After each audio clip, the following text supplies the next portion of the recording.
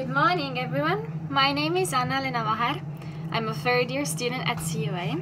You're currently inside my fridge in Estonia and I'm about to share my day with you, but first let's have some breakfast.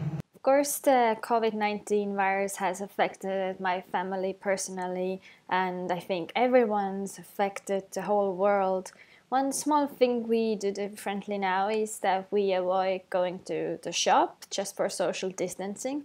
So every morning I start by baking bread, and this is what I'm gonna have breakfast today as well. I usually like to start my mornings to come outside and breathe some fresh air, either to run or bike. Today I decided to walk because it snowed overnight. It's actually very nice to be at home during the springtime because it's my favorite season. Everything is changing and becoming more colorful and becoming more alive and it's just fantastic to observe little things that change overnight. Example how Estonia has already prepared for social distancing and how it's part of our normal lives are the outdoor gyms. So there's quite many of them along the trails and you can just come and do your workout here. Okay, I just finished class I'm taking this term conservation bio, social arts practice and community based marine conservation, and I'm doing an independent study in Russian literature and cinema. I'm really enjoying all the classes and have so much respect for professors who put the courses online. It's what it is, but I'm learning and it's working well. I'm gonna do some homework now and I'm gonna check in later. This is my cat. His name is Matrus. Matrus means uh, sailor man in Estonian. He is a Siamese, five years old.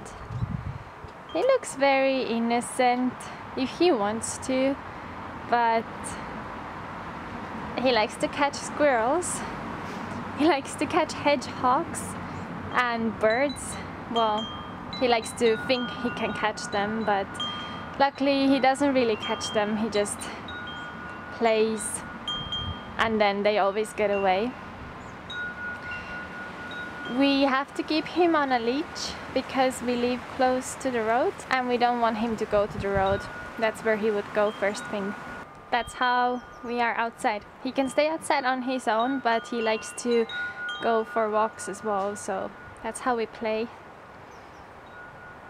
A proper Estonian way to end a long day is with a sauna. And uh, sauna is the most important part of every Estonian house. This is the first thing that is built before anything, like you can live in the tent, but you have to have a sauna before. We do sauna once a week and it's uh, uh, heated with wood. It's a dry sauna and in order to get the steam, the hot steam, you have to throw the water on the rocks.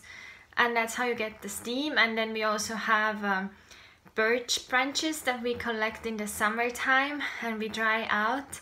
And uh, with those branches um, you you use them in sauna to kind of hit your skin and that's gonna make the blood circulate really well so it's weird traditions uh, but it's been like that hundreds of years and it is still really important in every Estonian family. Find your own sauna. If you don't have a sauna, find something that relaxes you and make you feel good, just like Estonians have their sauna. I hope you all are gonna stay safe and I can't wait to see everybody face to face.